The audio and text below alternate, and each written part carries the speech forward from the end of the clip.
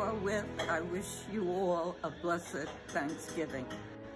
And we'll, we'll talk soon again. Thank you for your call, darling.